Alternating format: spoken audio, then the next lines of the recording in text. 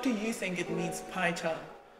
Uh, that means uh, charming the python, like there's snake charming, like when you try to be friends with the cobra.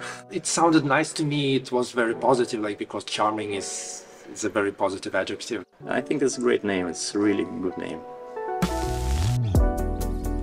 My name is Dmitry Jemerov, and I'm the original creator of PyCharm actually. So PyCharm goes back to the Python plugin for IntelliJ IDEA, which I started working on back in 2005.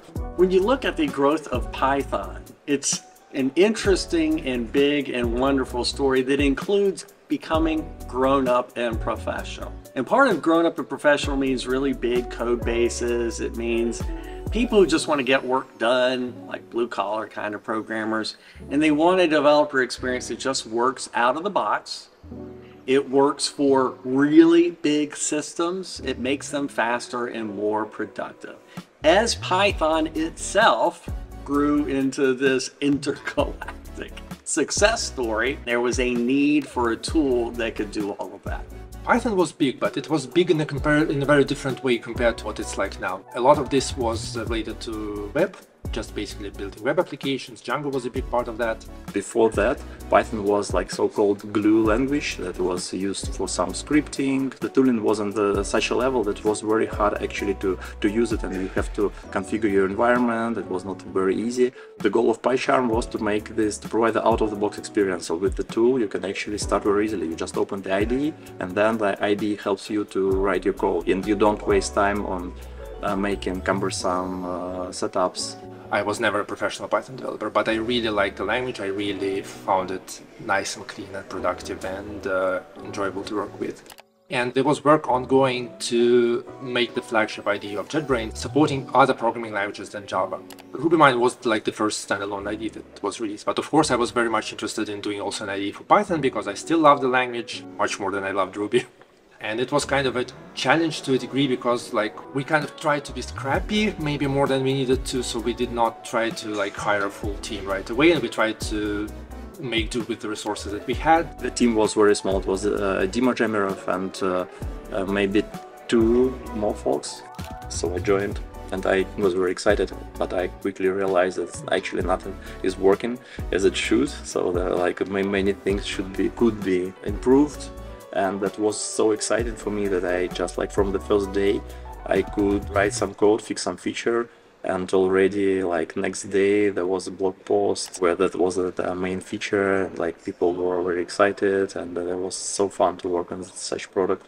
The big challenge of uh, making pycharm was that uh, python is a dynamic language so a lot of the ide features uh, require knowing basically types of things so that you can provide completion, you can provide refactorings like th- that work reliably. And with Python, this was to a large degree not a completely solved problem. So we could not reach the same level of quality for Python that we had for Java. And this was something that was a challenge. And in terms of like pieces that we need to build, we actually knew that quite well because we knew what components uh, we had for Java. Like debugger was essential, framework support was essential. So we had Django support very early on. And of course, we had to make some decisions like which technologies to support, which technologies not to support. The first release was very exciting moment.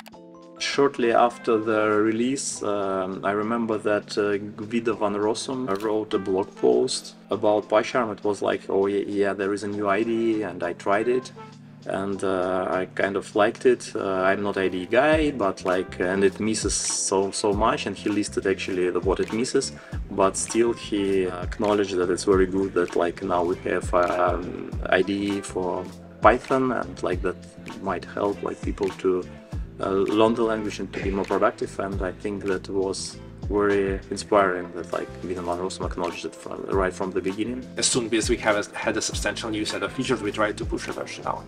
And sometimes we try to do this uh, in connection to conferences. And I remember that like trying to finish the release like literally on the plane to the conference and so that we could push it out when we land and then uh, announce it on the day of the conference. So this was a lot, a lot of hacker culture back then.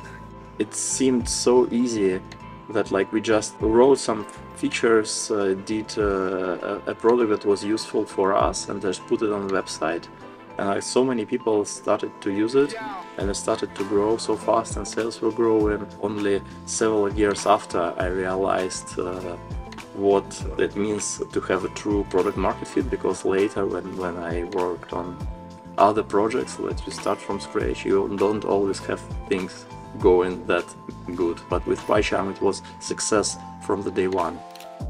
I think it was a PyCon in the US. I think it was like 2012 probably. We had a booth and we are we were demoing PyCharm to a bunch of people. And like there was this girl who came to our booth, a teenage girl. She was like, 13 or 14, and she was asking all sorts of questions. She clearly had a very good idea of what was going on and uh, what she would use the tool for. And I kind of realized that I would need to tell her at some point that she would actually have to pay for that. And she probably I, I wasn't sure if she was able to. To me, this was kind of the emotional push that I needed to commit to the decision that we need to needed to release a free version of PyCharm. PyCharm was for a long time a good starting point, like an obvious starting point for people who was trying to get into Python. The IDE can be a really good teacher. There are particular ways that you need to format the language. There are ways that you need to define variables. There are ways that you need to use things like decorators to declare classes, to declare functions. And the IDE can give you a lot of hints or like outright tell you you're doing it wrong. So when you're a learner, that sort of stuff is really important to sort of have someone take you by the hand and gently give you hints about maybe why your code isn't working. PyCharm greatly contributed to the Python adoption. So people who were willing to use Python, whether software developers or data scientists or uh, physicists, uh, all kinds of researchers, uh, students, uh, kids from school, they, they just could use it. That's the, the great impact that we did with uh, PyCharm.